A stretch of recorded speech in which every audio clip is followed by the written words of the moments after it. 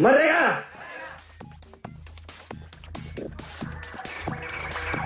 Ini yang hadir semua adalah pengurus DPD, pengurus DPC, DPC sekalimantan Selatan, anggota Dewan, dan tim sukses saya MAM yang berhadir.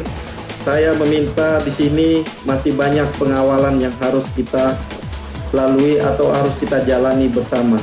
Saya baru di tahun 2017 ini insya Allah akan melanjutkan sampai 2021 sesuai masa jabatan saya.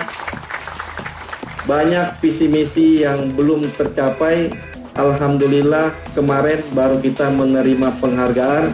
Mudah-mudahan banyak penghargaan yang lain lagi yang bisa saya terima dan kita bisa berkonsentrasi khususnya PDI Perjuangan di mana ada empat kabupaten yang akan melakukan pilkada 2018 di mana salah satunya adalah Kabupaten Tanah Laut incumbent kita Pak Bambang